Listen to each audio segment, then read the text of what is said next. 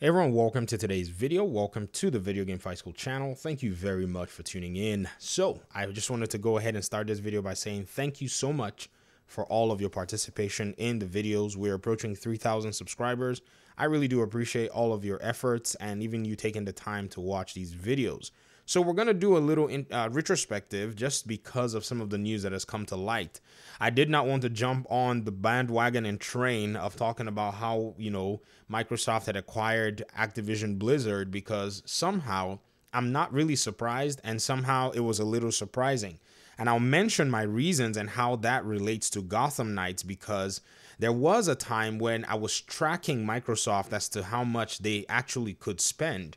So a while ago, we talked about kind of the potential, and this was kind of the rumors floating that Warner Brothers Games was kind of shopping around for a potential buyer and Microsoft was one of the people probably taking a look. Eventually, we discovered that there was a merger with Discovery where Warner Brothers Interactive Entertainment is now underneath another arm, and some of the Warner Brothers properties are under the other arm in terms of AT&T and all of the others.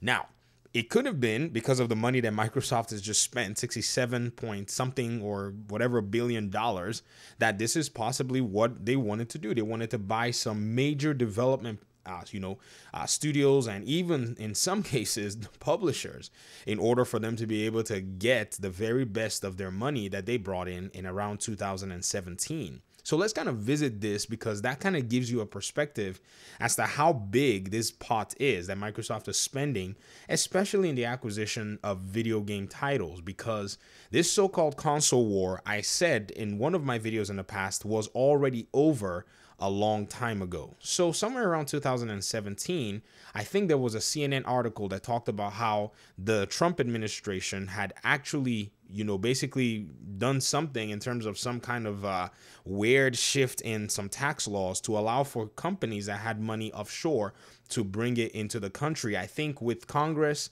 and all of that, there was some sort of a reduction in the tax bill if you brought in money from outside the country in that window. Microsoft was one of the companies that brought in a lot of offshore money. And even with the reduced tax bill, they still paid tens of billions of dollars. So you could have taken the percentage at that point to see that about 10 tens of billions of dollars will probably have equated to, you know, triple digits or hundreds of billion dollars that they had brought in in that window. So even if Microsoft had brought in just a hundred billion dollars, there was still a lot of money to spend. Next thing you know, we get the announcement after that particular window that Game Pass was going to be for a dollar for a lot of PC players. I think it was probably for about three months or in some cases six months. That was kind of the you know basic um, introduction of Game Pass. Following that, there was the xCloud beta. This was actually a beta that everybody could sign up for to test out Microsoft's xCloud system, which is basically their game streaming service through the cloud on your phone or mobile devices. Now, one reason it wasn't so permeative around the entire gaming community was because Apple had somehow had some issues with the way the app ran because the app would have to run other apps that would then require permissions. But, you know, Phil Spencer kind of said something along the lines of Microsoft was working with Apple to kind of see things in place. Now that entire ecosystem is live through the Game Pass Ultimate, uh, you know, program, and you know anybody that has that subscription right now can play all kinds of games on there. I believe that's their shot to the bow at PS Now, where Microsoft took a lot of old games and even some new games and put them on PlayStation Now that people could basically play backward compatible if PlayStation was actually paying attention, but they weren't. So Microsoft got them there. And then Microsoft made Game Pass available, started bringing brand new games day one to Game Pass, and then acquired ZeniMax Studios, the parent company of Bethesda. So I go back and I say to myself, what if Microsoft had actually acquired Warner Brothers, uh, you know, Interactive Entertainment? I think number one, it would have been some sort of a good deal because I believe strongly right now that Warner Brothers Interactive Entertainment, in terms of the arms of the Batman games, are not necessarily leveraging how powerful this IP is. Instead, it seems to be there's a lot of maybe mismanagement going on, and perhaps things are probably not flowing in the way that it could because ex- existing projects were canceled before Gotham Knights was actually announced, and nobody is even talking about a Superman game. But it appears to me that Phil Spencer and even the way they're running the whole Xbox ecosystem right now, I think it speaks to the fact that this company has the ear of gamers.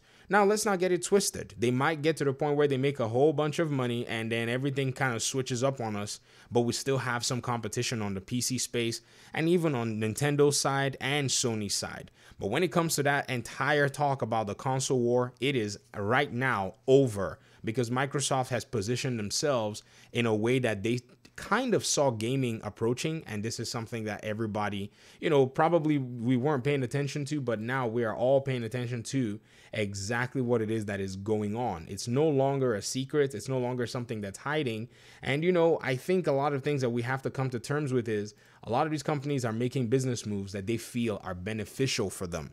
And one thing that we have to also understand is this competition really does have to happen. Whether you're on the PlayStation or whether you're on the, you know, Xbox side, it's something that's necessary because I think at some point the competition has got to draw the market factors to exactly where it needs to be. We've we've actually talked about the potential of a Spider-Man game coming to PC. In fact, that video of mine, I didn't even know what happened. It just started to get maybe a little bit more eyes on it, and it's seeming more and more plausible that PlayStation might eventually decide to make that move. It's no longer really anymore about selling consoles in today's day and age. I think there's a lot more that's going into things now. It's now about selling your games and bringing your entertainment to different platforms that other gamers are able to enjoy which kind of takes me back to the entire conversation about Gotham Knights. So, Gotham Knights is in just this really weird conundrum. And I think everybody can agree with me that, you know, if this was the case where Warner Bros. Interactive Entertainment had been acquired by Microsoft, we may have started seeing things work differently. In fact, just an announcement alone had a lot of the employees kind of asking, What is our status and all of this stuff. But Microsoft seems to have shown in some case uh, you know, that they kind of have the the concern in terms of gamers in their minds. Like they're kind of looking at things from the gamer's perspective. But again, we need to see how all this fleshes out. The deal is not yet final. The deal is uh, going to be closing somewhere around you know June 3rd of or June 30th of 2023. I can't remember, but it's in summer of 2023 and I guess we'll see how things progress from there. And even if it falls through, there's nothing wrong with that as well. I think it would just wake everybody up right now because it just seems like, you know, a lot of good games are sleeping in development cycles, and a lot of these companies are in a place where they need to start making some major moves. They really need to start thinking about how they can leverage what is already available and not waste any more time.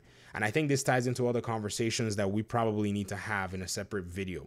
But I wanted to go ahead and just share my thoughts on this and do a little bit of that retrospective to point to the fact that it was very possible for Microsoft to have bought like what uh, 10 or 12 of Warner Brothers Interactive Entertainment with the fee that they've paid so far for Activision Blizzard. It's not even a you know uh, it's not even a contest at this point. But again, we'll see how things shape out. Hopefully, this will inspire or at least jug Warner Brothers to kind of get themselves out there and leverage all of what's going on right now and probably position themselves in a way that this game is going to get more eyes and be more successful. All right, that's it for me. Thanks so much for watching the video. I appreciate you guys' time and audience. Hopefully, we'll talk in another one. Peace out.